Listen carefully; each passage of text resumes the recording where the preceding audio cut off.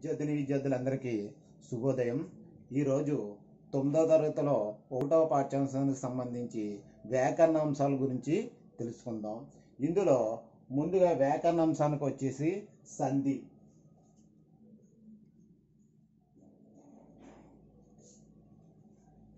సంధి అంటే వ్యాకరణ పరిభాషలో దాని యొక్క నిర్వచనం పూర్వ పరస్వరాలకు పరస్వరం ఏకాదేశం బగుట సంధి.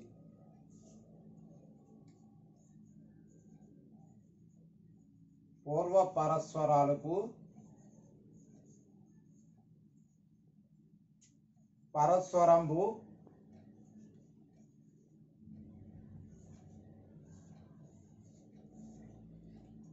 ఏకాదేశం ఒకట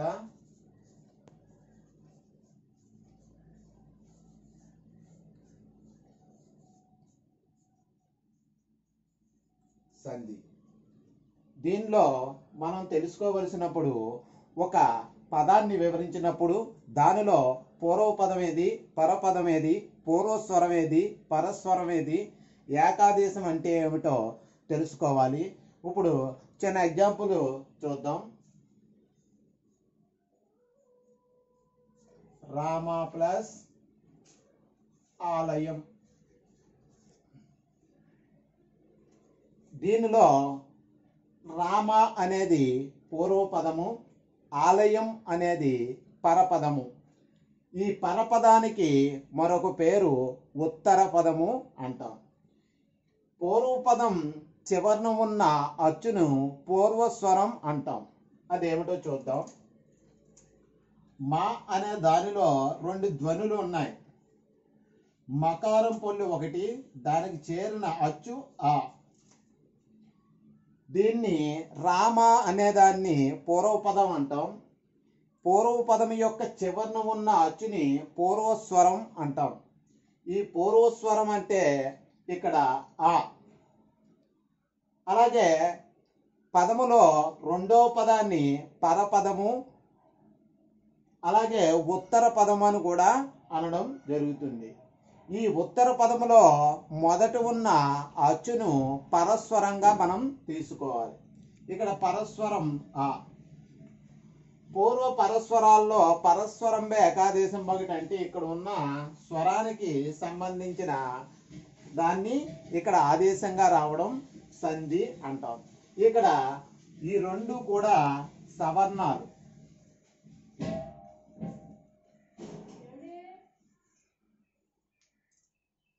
ఈ సవర్ణాలు అంటే ఆకి ఆ అనేది రావడం వల్ల దీనిలో దీని యొక్క దీర్ఘం ఆ దీని యొక్క గుర్తు దీర్ఘం. అంటే ఇక్కడ దీర్ఘం వచ్చి చేరాలి. దేనికి? ఇక్కడ మకారానికి. రా మా మిగిలింది లా ఇది రామాలయం. అని రావడం జరిగింది. ఇది సంధి అనే నిర్వచనాన్ని వివరించడానికి చెప్పిన ఉదాహరణ. అయితే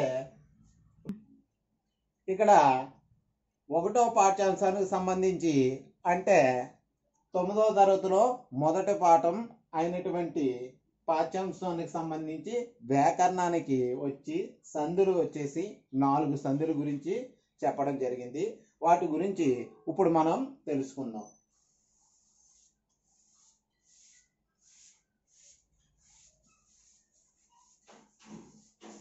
ఇందులో ఉన్న సంధుల్లో మొదటిది సవర్ణ దీర్ఘ సంధి.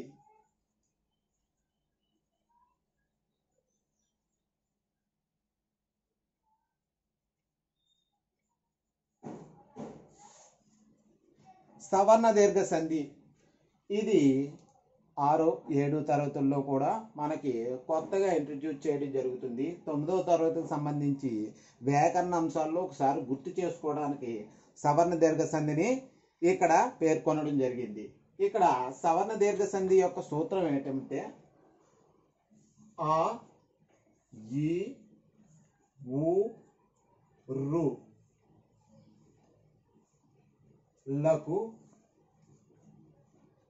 సవర్ణములైన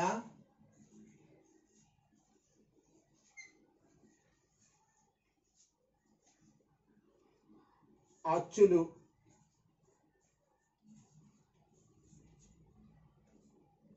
అచ్చులు పరమైతే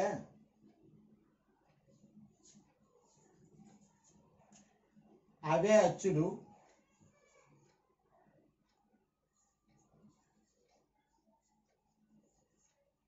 అవే అచ్చులు పరమైతే ఇక్కడ సవర్ణమైన అచ్చులు అంటే సవర్ణమైన అచ్చులు పరమైతే అవే అచ్చులు అంటే ఇక్కడ సవర్ణమైన అచ్చులు అంటే సేమ్. ఆ అనే అక్షరానికి ఆ కానీ రెండో ఆ కానీ ఈ అక్షరానికి ఈ రెండు కూడా సవర్ణములు. అలాగే ఈ అనే అక్షరానికి ఈ రెండో ఈ సవర్ణ అక్షరాలు. అలాగే ఊ ఊ ఊ. ఇవి సవర్ణములు. వీళ్ళు కూడా అరు అరువులు కూడా రూ రూలు కూడా ఇవే. ఇందులో వాటికి ఆ ఈ ఊ అరులకు సవర్ణమైన అచ్చులు పరమైనప్పుడు వాటి దీర్ఘములు ఆదేశంగా వస్తాయి. ఇందులో దీనికి ఈ ఆ అనే అక్షరానికి ఇవి కానీ ఇది కానీ పరమైతే అందులో దీర్ఘం అంటే ఈ అక్షరం పరంగా వస్తుంది. దీనికి యొక్క గుర్తు దీర్ఘం. అలాగే ఇక్కడ చూడండి. ఈ అనే అక్షరానికి పరమైతే రెండో ఈ వస్తుంది. దీనికి గుడి దీర్ఘం. అలాగే ఊ అనే అక్షరానికి రెండో ఊ వస్తుంది. దీని గుర్తు కొమ్ము దీర్ఘం. చూడండి మరొకసారి సవర్ణ దీర్ఘ సంధి సూత్రం. ఆ ఈ ఊ అరులకు సవర్ణమైన అచ్చులు పరమైనచో. వాటికి దీర్ఘములు ఆదేశంగా రావడం సవర్ణ దీర్ఘ సంధి యొక్క నిర్వచనం. దీంట్లో చిన్న ఒక్కో దానికి ఒక ఎగ్జాంపుల్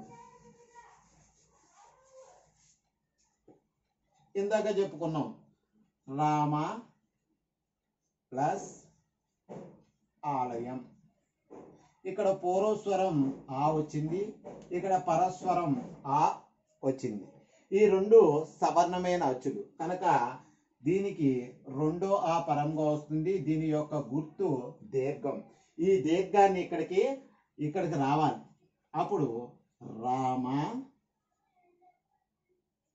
లయం. రామ ప్లస్ ఆలయం రామ లయం. రావడం జరిగింది నెక్స్ట్ ఇంకో ఎగ్జాంపుల్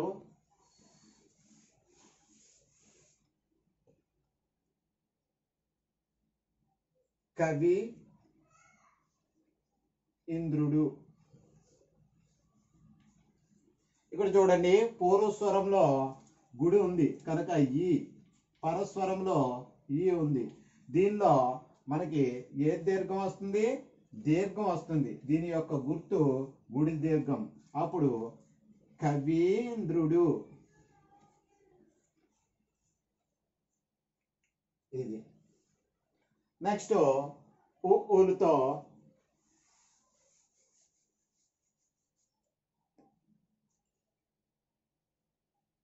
చూడండి. బాను ప్లస్ ఉదయం.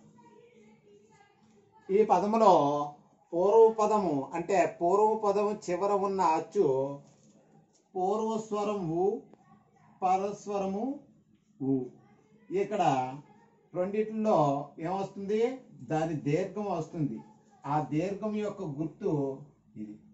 అప్పుడు బాను దయం. ఇది సవర్ణ దీర్ఘ యొక్క సంధి యొక్క నిర్వచనం. ఇక రెండవది ఉత్వ సంధి. ఈ పాఠ్యాంశంలో రెండో చెప్పింది ఉత్వ సంధి.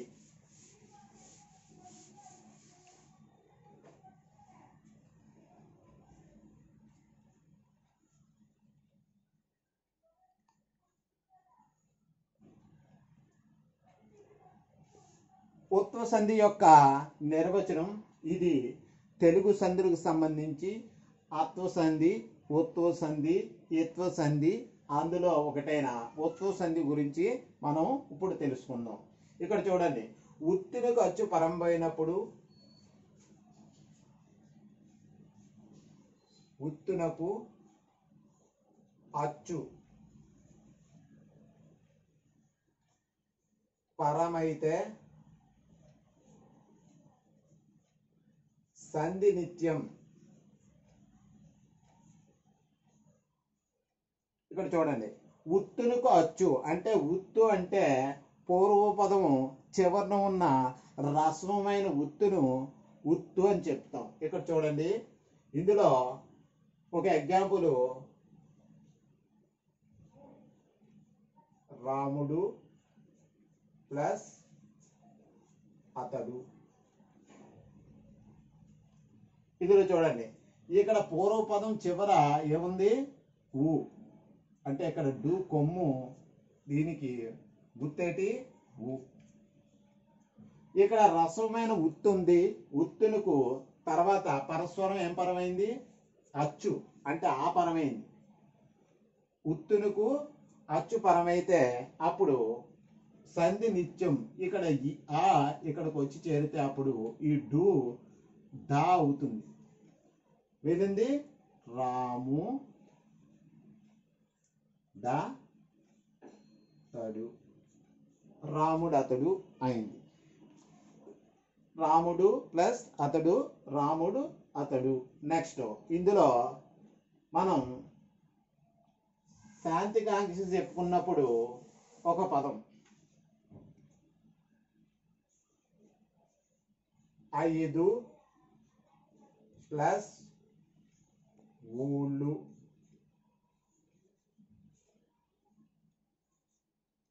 ఇందులో పూర్వస్వరం ఇక్కడ ఊ ఉంది.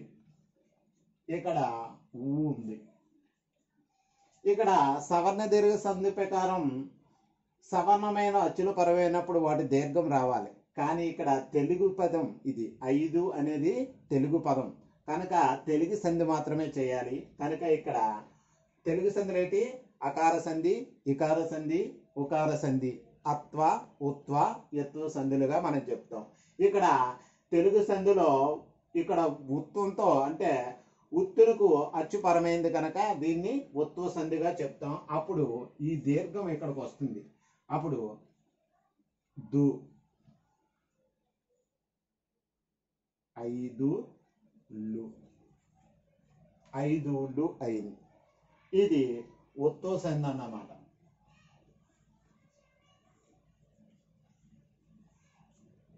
ఉత్వ సంధి.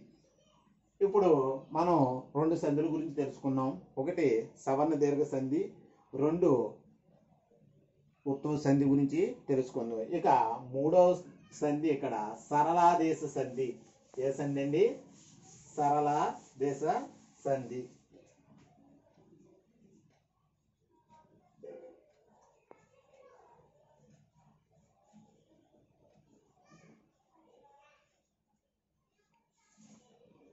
సరళాదేశ సంధి ఈ సరళాదేశ సంధి నేర్చుకునే ముందు మనం ధృతము అంటే ఏటో తెలుసుకోవాలి. ధృతము.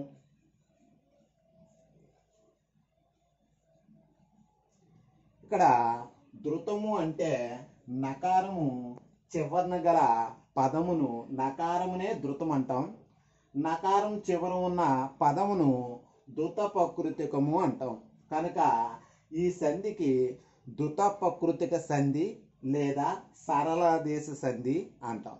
అంటే ఇక్కడ ధృతముతో ఏర్పడుతుంది కనుక దాన్ని ప్రకృతిక సంధి అని సరళాదేశ సంధి అని మనం చెప్తాం. దానికి సంబంధించి నిర్వచనాన్ని ఇప్పుడు రాస్తున్నాను. చూడండి.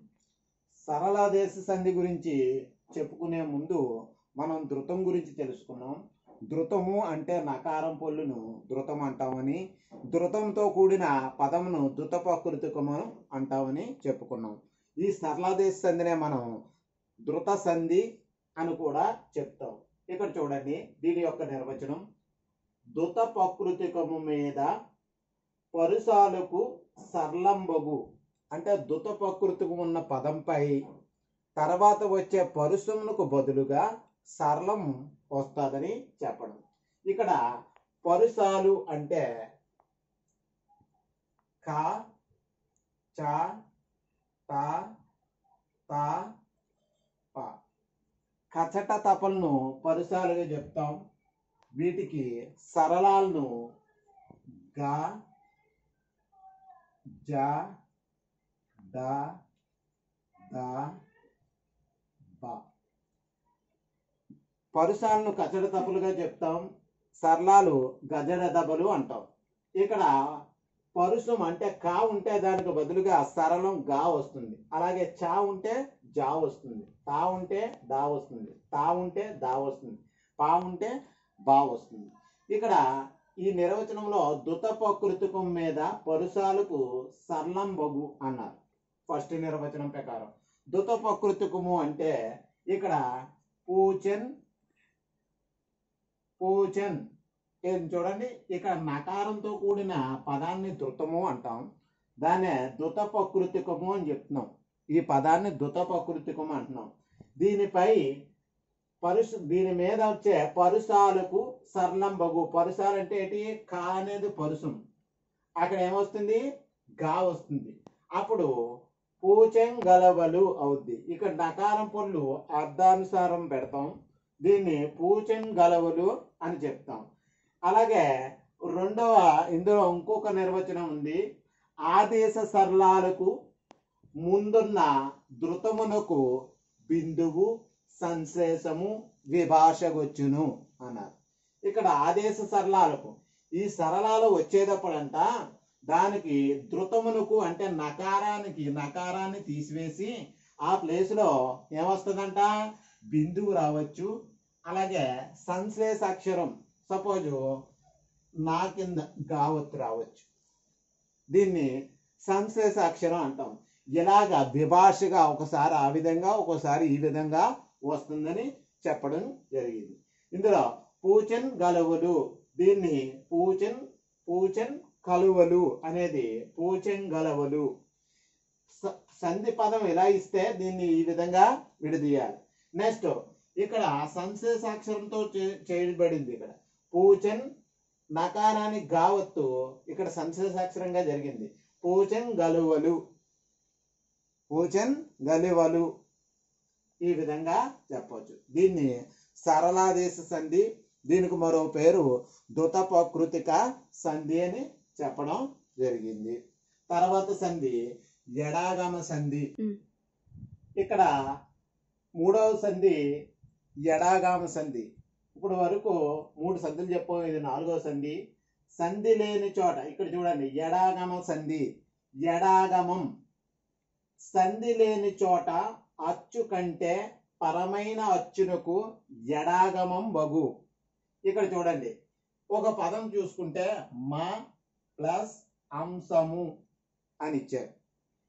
ఇక్కడ మా ఆ అక్కడ చేస్తే సవర్ణ దీర్ఘ సంధి అవ్వాలి. కానీ ఇక్కడ సంధి లేని చోట అని చెప్పాం. సంధి లేని చోట ఇక్కడ మా సంధి లేని చోట అచ్చు కంటే అచ్చు కంటే అంటే ఇక్కడ ఉన్న అచ్చు కంటే పరమైన అచ్చునకు అంటే ఈ వచ్చి అచ్చునకు పరమైన అచ్చును కంటే ఇటువైపు అంటే పరస్వరములో మొదట ఉన్న అచ్చు రావడానికి ముందు ఎడాగమం అంటే య పొల్లు ఆగమంగా వస్తుంది అని అర్థం. ఇక్కడ చూడండి. మా ప్లస్ అంశము మధ్యలో ఏమొచ్చింది? ఈ అచ్చు కంటే ముందు య ఎడాగమం రావడం జరిగింది. అప్పుడు ఈ ఆ అంటే ఆ యొక్క గుర్తు తలకట్టు దీనికి చేరితే ఏమైంది? యా అయింది. ఇక్కడ మా యంశము అయింది. ఇది ఎడాగమ సంధి. సంధి లేని చోట అచ్చు కంటే పరమైన అచ్చునకు ఎడాగమంబగు. ఇది దీని యొక్క నిర్వచనం. ఇవి ఈ పాఠ్యాంశానికి సంబంధించి సందులు తర్వాత మనం సమాసాల గురించి తెలుసుకుందాం.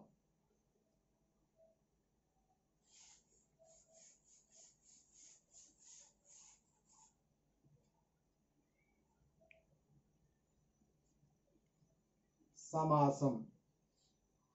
సమాసము అంటే మనం చెప్పుకునే నిర్వచనం రెండు వేరు వేరు అర్థాలు గల పదాలను ఏకపదంగా చేయడం సమాసము అంటాం. ఒక పదమును సమాస పదము అని గుర్తించేటప్పుడు అది ఏ సమాసానికి చెందిందో వివరించి తెలిపే వాక్యమును విగ్రహ వాక్యము అంటాం.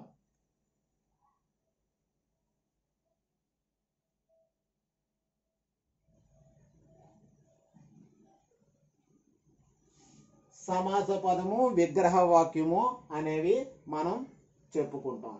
ఇక్కడ మనకి తొమ్మిదవ తరగతికి సంబంధించి ఇచ్చిన సమాసం పేరు కర్మధారయ సమాసము.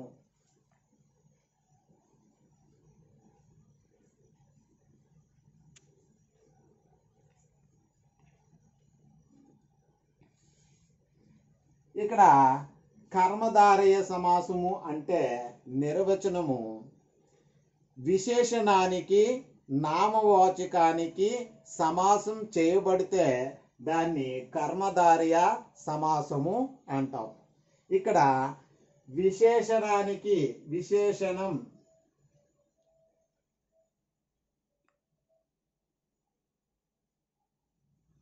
అలాగే నామవాచకానికి విశేషణం అంటే గుణాన్ని తెలియజేస్తుంది. నామవాచకం అంటే పేరును తెలియజేస్తుంది.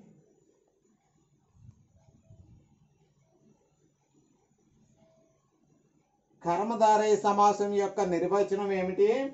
విశేషణానికి నామవాచకానికి సమాసం చేయబడితే దాన్ని కర్మధారయ సమాసము అంటాం. ఈ నామవాచకానికి మరొక పేరు విశేష్యం అంటాం. ఇది విశేషణం ఇది గుణం ఇది విశేష్యం అంటే నామవాచకం అని అర్థం. ఇదే నిర్వచనాన్ని మరో విధంగా చెప్పవచ్చు విశేషణానికి విశేషానికి సమాసం చేయబడే ఆ సమాసాన్ని కర్మధారయ సమాసము అని కూడా చెప్తాం. ఇక్కడ విశేషణము అంటే గుణం విశేషము అంటే నామవాచకం నామవాచకం అంటే పేరు అని అర్థం. ఇక్కడ మనకి ఇచ్చిన ఉదాహరణలో ఒక ఉదాహరణ.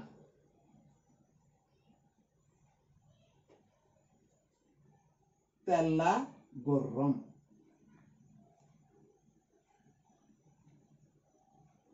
తెల్ల గుర్రం. ఇందులో ఇక్కడ తెల్ల అనేది విశేషణం.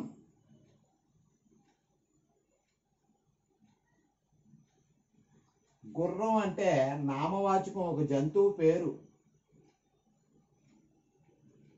ఇక్కడ తెల్ల గుర్రం అంటే దాన్ని విగ్రహవాక్యం తెల్లనైన తెల్లదైన గుర్రం. ఇది విగ్రహవాక్యం. ఇక్కడ ఇది కర్మధారయ సమాసానికి ఒక ఉదాహరణ. అయితే కర్మధారయ సమాసములో కొన్ని రకాలు ఉంటాయి. మనకి ఇక్కడ రెండు రకాలు తొమ్మిదో తరగతిలో చెప్పడం జరిగింది. అది ఏంటంటే విశేషణ పూర్వపద కర్మధారయ సమాసం ఒకటి విశేషణ పరపద కర్మధారయ సమాసం ఒకటి.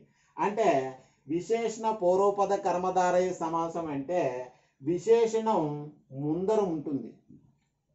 ముందర అంటే పూర్వపదంలో విశేషణం ఉంటే దాన్ని విశేషణ పూర్వపద కర్మధారయ సమాసం అని.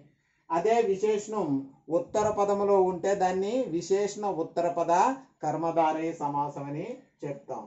ఇందులో తెల్ల గుర్రము తెల్లదైన గుర్రము. ఇక్కడ చెప్పినప్పుడు విశేషణం తెల్ల తెలుపు నలుపు అనేవి గుణాలను తెలియజేస్తున్నాయి కనుక ఇక్కడ విశేషణ పూర్వపదంలో ఉంది కనుక ఈ తెల్ల గుర్రము అనేది విశేషణ పూర్వపద కర్మధారయ సమాసము. తర్వాత అలాగే విశేషణ ఉత్తర పద కర్మధారయ సమాసానికి మామిడి గున్న.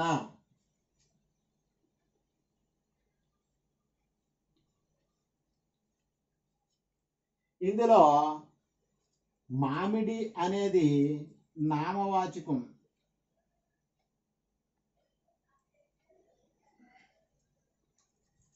గున్న అనేది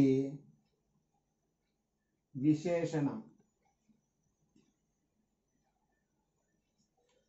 ఇది మామిడి గున్న అనే సమాస పదమును ఇక్కడ పూర్వ పదములో నామవాచకం ఉంది పరపదములో విశేషణం ఉంది. కనుక దీన్ని వి- ఈ పరపదానికి మరో పేరు ఉత్తర పదము అంటాం. ఇక్కడ విశేషణ ఉత్తర పద కర్మధారయ సమాసం అని దీనిని అంటాం.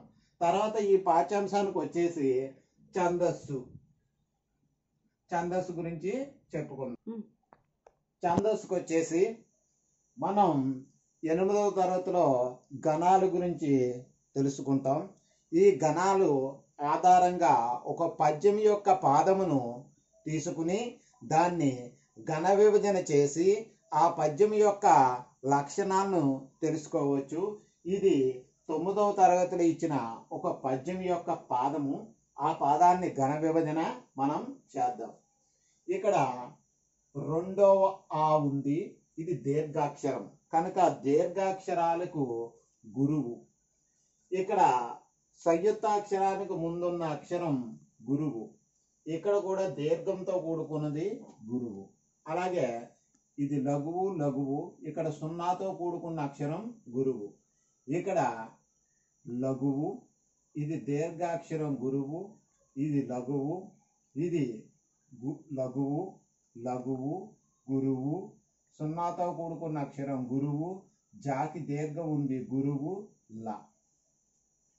తర్వాత ఇక్కడ దీర్ఘం ఉంది గురువు గురువు లఘువు. ఇక్కడ సున్నాతో కూడా అక్షరం గురువు. దీన్ని మనం యమత రాజబానస యా మా తా రా జా బా నా స. దీనిలో దీర్ఘాలకి గురువులు వేసుకుని మిగిలినవి లఘువులు వేసుకుంటే ఇది మన కాలమానము గడియారం ఏ విధంగా తిరుగుతుందో ఆ విధంగా చూసుకోవాలి. ఇక్కడ వచ్చే ప్రతి మూడు అక్షరాలని ఒక గణంగా వేసుకోవాలి. ఇక్కడ గురువు గురువు గురువు అంటే ఇక్కడ ప్రతి మూడు అక్షరాలని ఘనంగా తీసుకోవడం జరిగింది. ఇక్కడ ప్రతి మూడు అక్షరాల్లో మూడు గురువులు గురువు గురువు గురువు. ఎక్కడ స్టార్ట్ అయింది? మాతో స్టార్ట్ అయింది కనుక ఈ ఘనము పేరు మా. తర్వాతది రెండు లఘువులు వచ్చి తర్వాత గురువు రావాలి. ఎక్కడ రెండు లఘువులు? లఘువు లఘువు గురువు అంటే ఇక్కడ సా.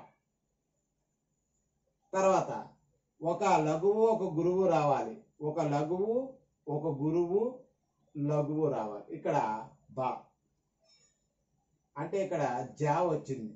మా సా జా మళ్ళీ సా వచ్చింది ఇక్కడ లాగే సా మస జస ఇక్కడ గురువు గురువు లఘువు ఉండాలి. ఇక్కడ గురువు గురువు లఘువు అంటే తా. మళ్ళీ ఇదే వచ్చింది త. ఒక అక్షరం గా ఉంది గురువు గనక గా.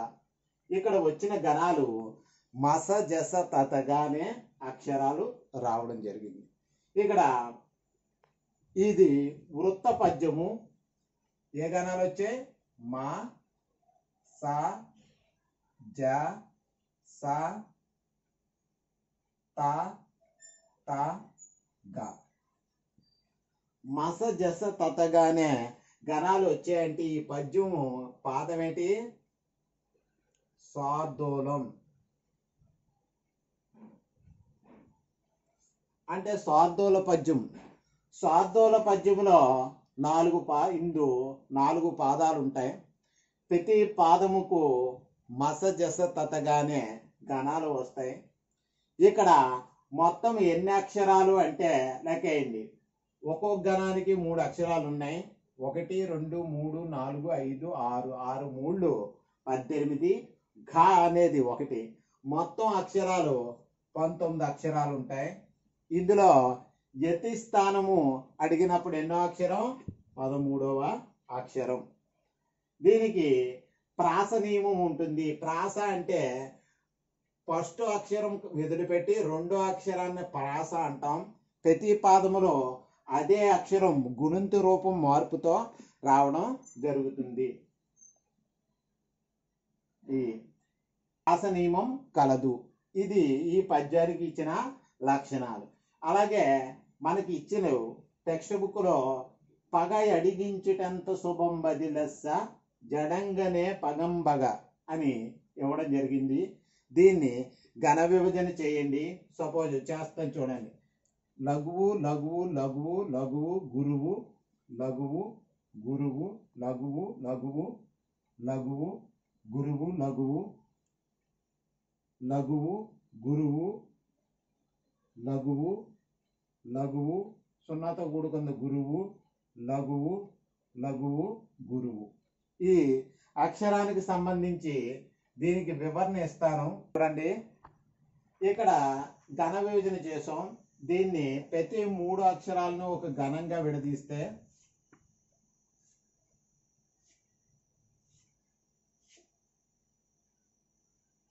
ఇక్కడ చూడండి. ఇక్కడ యమత రాజభానసులో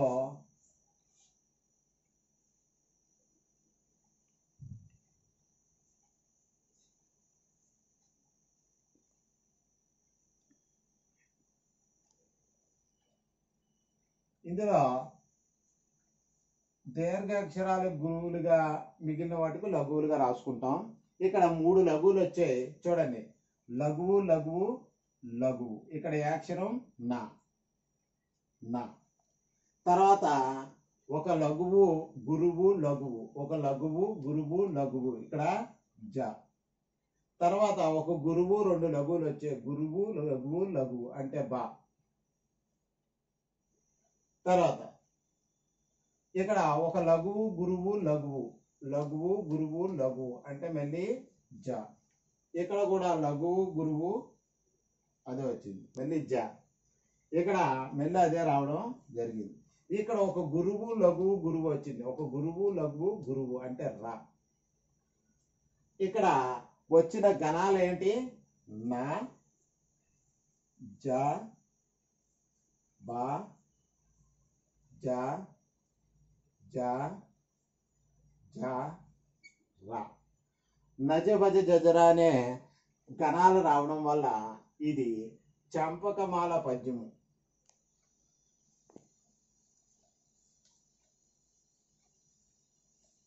చంపక మాల పద్యము. దీనిలో చూడండి. ఇందు ఇలాంటి పద్యంలో నాలుగు పాదాలు ఉంటాయి చంపకమాలలో. ప్రతి పాదములో నజబజ జజర అనే గణాలు వస్తాయి. ఇక్కడ మొత్తం అక్షరాలు ఒకటి రెండు మూడు నాలుగు ఐదు ఆరు ఏడు. ఏడు మూడులన్నీ ఇరవై ఒక్క అక్షరాలు ఉంటాయి. జతి స్థానము పదకొండవ అక్షరం. ఇందు ప్రాస నియమము కలదు. ఇది వృత్త జాతి పద్యము. ఇది ఛందస్సుకు సంబంధించి తొమ్మిదవ తరగతిలో చెప్పవలసింది. దీనికి మనకి ఇంకా ఈ పాఠ్యాంశానికి సంబంధించి అలంకారాలు ఇవ్వడం జరిగింది. అలంకారం అంటే ఒక మాటలో కానీ ఒక పద్య పాదములో కానీ అందాన్ని చేకూర్చే వాటిని అలంకారాలు అంటారు. అందులో ఇక్కడ అనుప్రాస అలంకారాల గురించి ఇచ్చాడు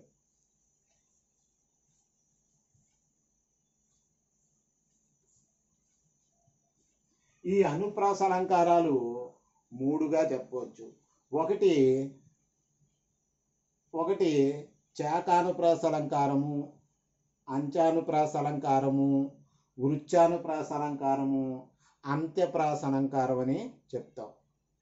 ఇందులో ఉచ్చానుప్రాస చేకానుప్రాస అంచానుప్రాస అని అనుప్రాస అలంకారాల్లో చెప్పినప్పుడు ఒక హల్లు మరలా మరలా వస్తే దాన్ని వృత్యానుప్రాస అలంకారము అంటాం.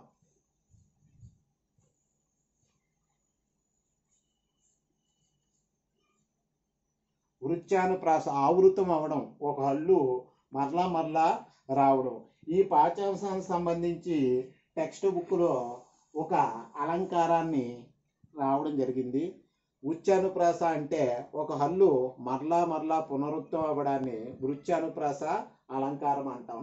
ఇది ఒకటో పాఠ్యాంశానికి శాంతి కాంక్ష అనే పాఠ్యాంశానికి సంబంధించి వ్యాకరణం.